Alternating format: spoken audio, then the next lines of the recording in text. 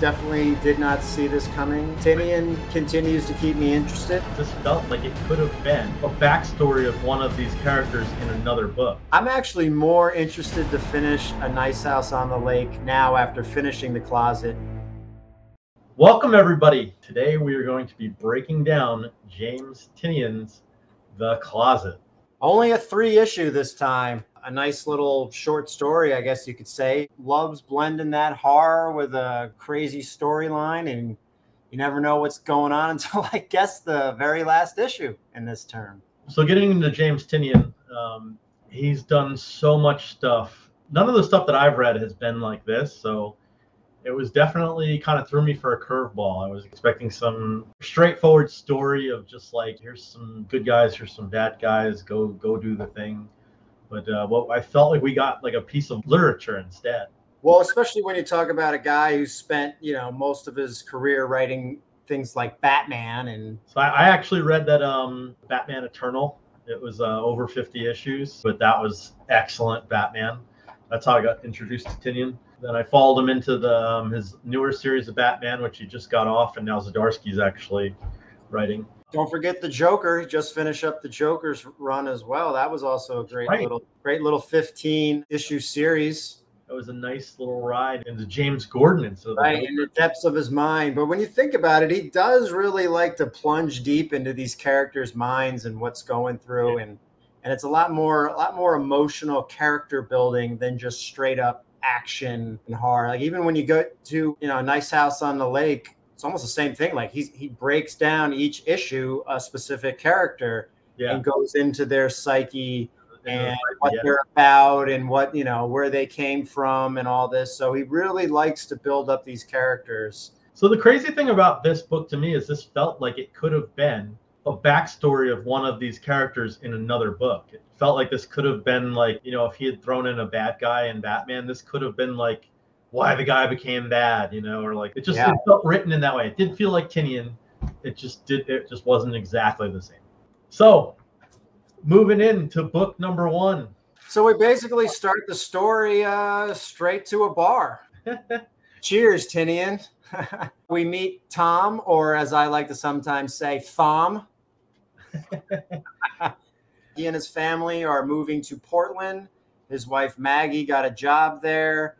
He has a son, Jamie. Stressful time moving cross country. I believe they're in New York. Pretty much venting to a bartender about it. Through this, we also learned that his son Jamie has been having uh, fears of this monster in his closet and going about how how he can handle this. When they finally set up the story of like basically the background. As you're getting out of the bar, it's really crazy here in these panels. Um, there's not really a lot going on. Like, look at no words. I love that part. You've got him in his bed, and you've got the closet that's super scary, and there's like a monster in there. And uh, Jesus, Tom, really? So it's really just setting up like the, you know, the kid. He's looking at the closet. He's super scared of the closet, and the only frame of anything here is his parents fighting. Right, which we learn is very important part of the whole story. The kid is in the middle. There's maybe Tom sucks. What do we yeah, think about Tom, Tom definitely sucks, and the wife is more of the uh, the. I mean, I guess you could almost say forgiving because she's still with him, and they're about to move cross country, while they're having uh, while she knows he's basically having type of affair.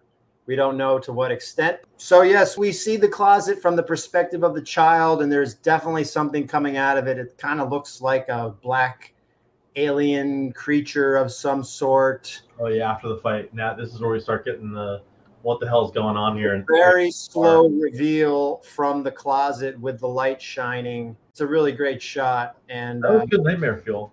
There's a shot of him how the monster goes behind the bed, like the door moves.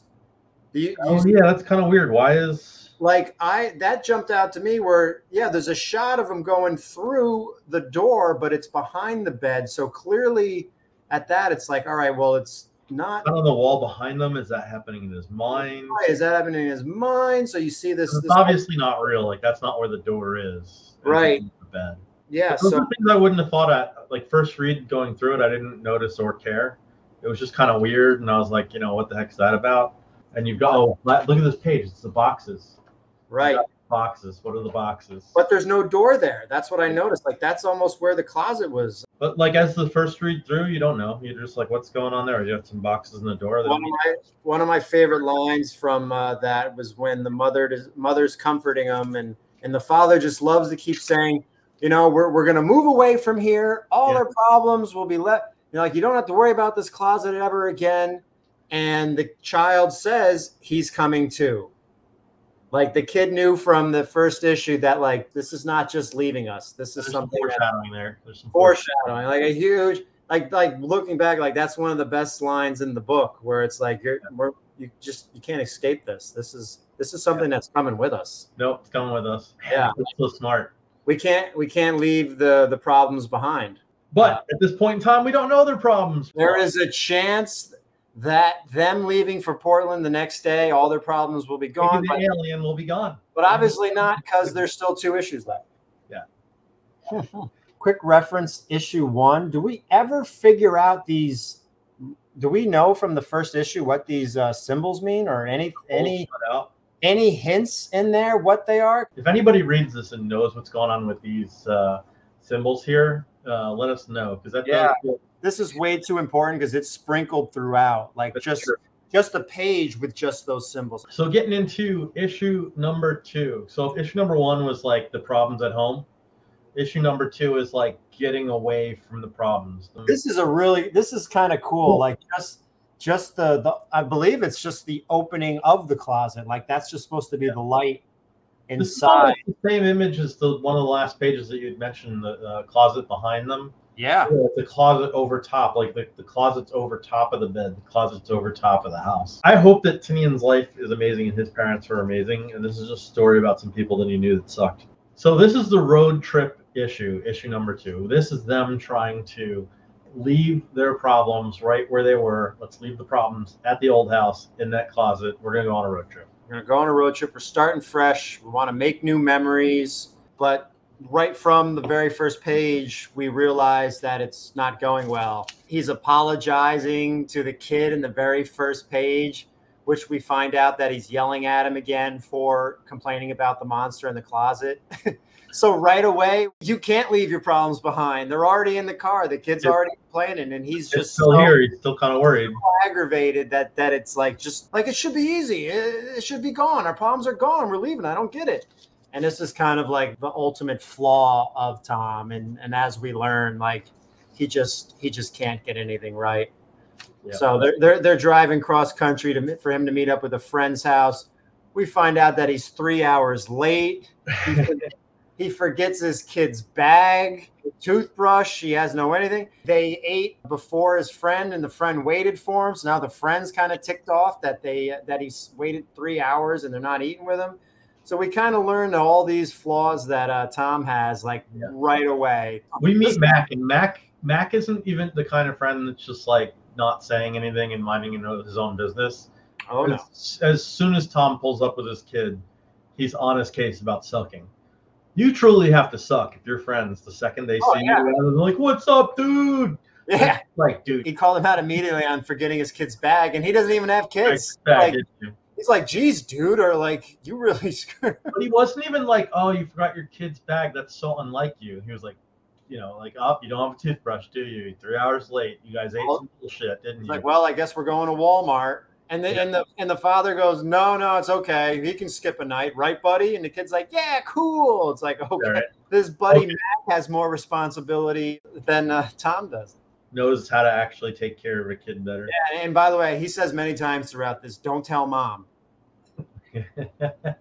He knows he's in the wrong most of the time. I don't have kids currently, but I think that uh, one of those things I need to remember for this story is if I find myself saying "Don't tell mom," like more than just jokingly or like you know often, like not a here and there thing, like things are probably not good. And I need, Probably telling. to, I need to take a look at life. When you're asking a child to cover up Yeah, something that you've done, that's probably a warning sign. Don't tell mom. it's interesting that his um his friends kind of like you know I relate to this being a Well, he sounds like a very free spirited guy. He talks about how him and his wife like they'll they they smoke pot, play with Legos.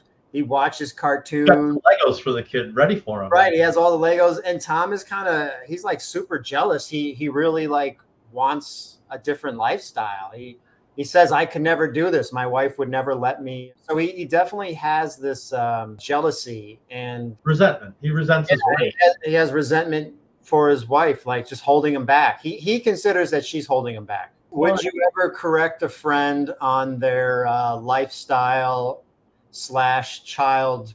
I've definitely felt more like Mac in this story than the, the the main character Tom. Because yeah, if you had a friend come over and he sucked with his kid, maybe at first it would be easy to like bite your tongue, but like they know each other pretty well. So he's like, dude, get your shit together. You know, if you're so jealous, you could live like this too. Like, why don't you live a carefree life? You know, like, why don't you live a life with no resentment? This is deep, man. I right. Really, well, well, well, Mac even says he goes, no, no, no. It's not about my wife allowing me to do these. I do that with her. This is a yeah. group activity. Like we, yeah, yeah we we enjoy doing this together. Tom admits that he's doing this cross country trip to get a break from his wife. Like yeah. his wife flew to Portland to start her job, and he was thinking that this could be a good moment to be away from his wife. So right there, you know, like so resentful that he that he wants to spend days in a car rather than hours in a flight. Right. Then then just starting his life. So so he keeps talking about starting a new life, but he is postponing it as long as possible. Yeah it was good to see Mac after seeing such a wreck of uh, of Tom. Yeah, Mac actually has a very interesting line where again he calls out Tom and says, "I think you're upset she didn't leave." Yeah, like, right. He like, calls him straight right. out and like, "I think you're more like having resentment because your wife stayed with you." Like he thought he was going to have an easy out, and she went through the therapy and forgave him and is trying to make it work. And Tom is more upset that's right. He was like, "Oh man, like this this is still this is still going." We eventually learned that he was having an affair with this woman Megan and they were doing li- doing simple little things like mixtapes and he's kind of reminiscing and how they impress each other with simple ways and like the puppy dog love and and that's when Matt goes, "All right, it's time to go to bed. You're starting you're starting yeah. to say dumb drunk things." yeah. He doesn't want to hear it. He doesn't even want to hear it because he just knows, like, dude, you've got a kid, dude. You've got a family. Like, what the fuck, dude? Yep. Yep. He's just like, yep, done.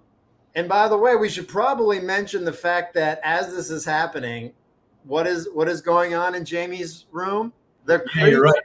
is dropping from a door in the ceiling. This creature's like doing a Mission Impossible down on, on top of him, which is really creepy. He's basically floating down the kid takes really off running, is at the door pounding, like, let me out of here. And then the last shot of the book, he's dragging him by his ass. dragging ankles. him back.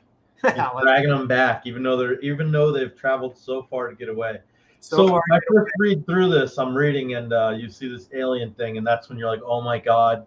It, it follows. And it's the creepiest thing. It's man, they really did draw a really creepy dad yeah. guy here. I honestly thought that at the beginning of issue three, that the kid was going to be missing because he was going to be one hundred percent. You know, we watch him get murdered basically. And, yeah, we, we we see the kid get uh, he's being dragged off. Yeah, like okay, that's it for him. He's murdered, and they didn't yeah. even hear it happen. And then going into issue three, we right away can see some similarities between this creature in the closet and Tom, Daddy Tom, and Thumb, Thumb or Thumb. Maybe that's what the uh, creature's name is. The creature's name is Thom, and his name's Tom. Three is basically going to start. He's sitting at a motel. He's he's he's has a like a twelve pack of beers on the car. He's smoking. He's distraught. I'm thinking, oh my god, the kid definitely is missing. And then we find out he's actually upset because Jamie is still having these monster visions, and he is actually more annoyed than. What happened? Well, because now he knows they're on their way to move away Question here: If you've got a kid that's seeing ghosts so bad that you want to move, wouldn't you test run maybe like uh, renting a, a hotel first to like see if it's better somewhere else? Don't forget the mother wanted him to uh, go to therapy, so right. She, oh, did, she did keep asking Tom like he needs to see a psychologist. Like we, yeah. we need we need to get and he just kept putting it off, kept putting it off, and and yeah. here we are now. Uh, it's really just a state. We're in the wrong state. That's what it is. Yeah. So now kind of weird here. I, another weird one um, that kind of just shows that Tom sucks. This guy comes up and asks, uh, "Can I bum one of those off of you?" And he gives him a cigarette, he immediately starts complaining about his family. Like, my kid is afraid of this monster. I yelled at him. And then he starts talking, uh, complaining about his wife at the same time. You know, how his wife is telling him and he's not interested enough in her life and he doesn't ask the right questions. So he's immediately already back into the world of like marriage trouble, even though he's not even he's not even with her. And he's, he's already super resentful. He's pissed yeah. about the kid. He's on a cross country trip with his son and he's still venting and complaining about his wife and how he can't do anything right. In this conversation with this gentleman at his car, that is when we officially find out that he was having an affair. Yeah he would take the kid to the park and he met this other woman and eventually an affair started and he even said he goes look i i was just more interested in the fact that someone younger than me would be interested in me. Yeah he was happy that somebody was paying him attention. Yeah we find out that she was exchanging polaroid pictures. So i guess this was sexting back in the day. So they're sort of sexting but who knows? We don't really get to see the pictures. We we see one and he's holding the middle finger or something. Yeah. But these Polaroids, for some reason, he thinks it's smart to keep them in his kid's closet. Yep. And that's the big, big turning point. He keeps all of this stuff the mixtapes, yep. pictures. Where will my wife never look? Oh, my wife will never look. The corner of my kid's closet. And then he admits of him sneaking in there at night while oh. this kid is sleeping to look at it, which, if you think about it, like we really lose almost all respect for Tom at this point, don't we? He's in the next room and he's he's fantasizing, or we don't know what kind of fantasizing, but he's like, you know, he's looking at these pictures. He's in there. He thinks he's gonna get away with it because his wife's never gonna look there. But that's when Jamie wakes up with his father in the closet, and we yep. see this outline that is that looks exactly like the creature that Jamie keeps seeing every night, and screaming, having a fit and of course, the father doesn't want the wife to find out he was in the closet. Oh, no, no, no. You, you were just having a nightmare. You were just having a nightmare. And the fool leaves the box open with the light on. Wife comes in to see why the child's screaming and sees the box open. Boom, right there. That's where that's where it all starts going wrong, right? I mean, that's that's basically the turning point of the whole family. Yeah, I think that's that was the first time that the monsters started? The birth of the monster, the birth of the anxiety, the birth of problems in the relationship, everything. Everything started then. Like mom and dad yelling and screaming at each other, me seeing this creature in the closet, nothing ever being right again, all started there. And the cover just being half of the monster, half his dad. I mean, if you need anything else to let you know that, like, yeah, this is a metaphor that is that that uh you know, maybe not that his dad's the monster. Well, maybe maybe it is his dad's the monster. But, it's, uh, it's a metaphor of that, but I think it's too like just just the problems that arose yeah. from that as well. The tension of the marriage, because like the kid knows they're screaming at each other all the time. When they do finally get to Portland, and oh, all our troubles are behind us. Oh, go see your room; it's upstairs, and immediately yep. get into an argument and you see the shot from up in the stairs of the kid viewing all this yep. goes into the bedroom and once again Car- the starts open, and it's just yeah there's and the you got those you got those same panels of just hearing the kid the kid can hear his parents arguing while he's like looking at the closet. Yeah it's all it, it's it's just all the, ties back to the first issue of the of looking at the closet while his parents are arguing yeah, there's also a great line where, where the where in issue three where the father says things are going to be different here, Jamie. like oh. like Tom, Tom is so convinced that this fresh start, everything's going to be different, and we learn that your problems follow you. Yeah, like if you don't fix your problems or you don't. Yeah, you got to find what the cause is. You got to figure out what's going on. If you don't accept them or figure them out, like they're gonna they're gonna come right with you. You can go anywhere, but you will always be there you know, if you don't work through a thing, it stays there. Yeah. And that's right there. No such thing as a fresh start. If you don't fix your problems, they're going to follow you. The writer was just there, like, just totally like, if you didn't, if you didn't get it yet, I'm just going to spell it out here. Closing thoughts. Uh, we definitely did not see this coming.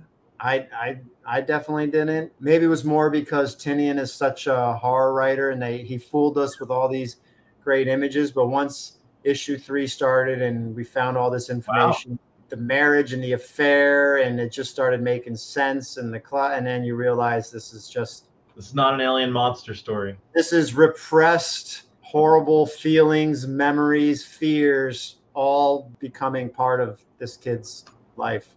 Making giving giving your life a monster. Right now we're reading Nice House on the Lake, and that is amazing. Do you think a nice house on the lake is going to have some sort of twist like this? What are we going to find out about Walter? Like, I'm actually more interested to finish a nice house on the lake now after finishing the closet because of the way that this ended. I agree. I feel like now I'm not ready for what's going to happen in Nice House of the Lake. We might realize that they were never at a lake, and this is just all symbolism for like having bad friends, making sure that you keep people close to that you like or something. Yeah, I might read it again and just be like, I don't know if I believe this. I don't know if I believe this. So thanks for hanging out with us and uh, listen to us talk about the closet. We really liked it. Stick around, like and subscribe our stuff. Check out our other videos. We do a video series called Get to the Shoppo, where we check out New Jersey comic book shops and show you the differences between them and uh, why they're all so great. And You should visit them all. We also do a, a, con experience video too.